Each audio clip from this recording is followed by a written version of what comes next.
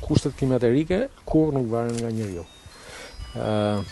Reshjet e të borës dhe stuhia që erdhi bashkë me to, është një dukuri që nuk ishte parë kurrë në Elbasan. Tani, tani besoj që biem të gjithë dakord që në një kohë kaq të shkurtër, Ne kemi arritur të zhbllokojmë të gjitha qendrat e njësive administrative.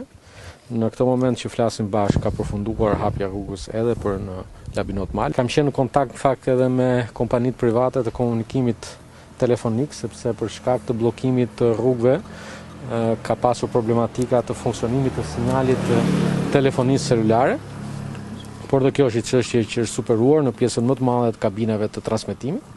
Ndërkohë që me kompaninë OSHEE vazhdon puna për rikthimin në rrjet të një numri abonentësh të cilët ende kanë problematika, por ky numër nëse të dielën mëngjes numri ishte rreth njëzet e katër mijë abonentë të cilët kishin mungesë të energjisë elektrike, Ky numër që flas, në ky në këtë moment që flasim numri është rreth treqind e shtatëdhjetë e katër abonentë. Pra është një numër shumë i vogël dhe puna vazhdon për të garantuar që energjia elektrike të shkojë në çdo familje.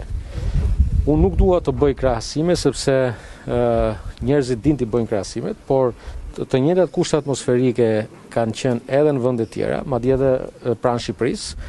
Edhe aty janë bllokuar rrugët, edhe aty janë bllokuar Autostradat, kujtoj këtu dje është bllokuar autostrada Selanik-Athinë për orë të tëra, por i vetmi dallim është që askush në këto vende nuk bën politikë me fatkeqësinë.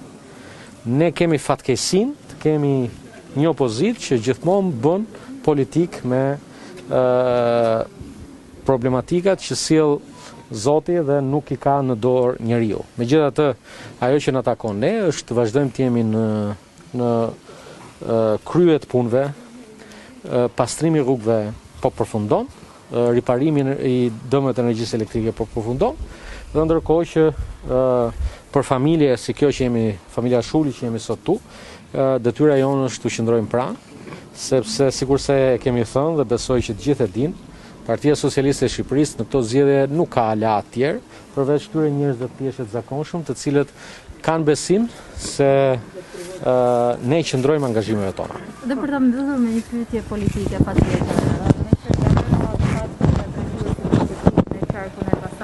konsiderohet e fortë, ju si e shihni?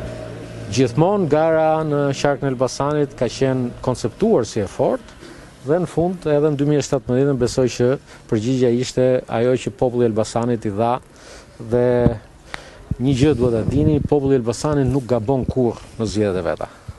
Faleminderit.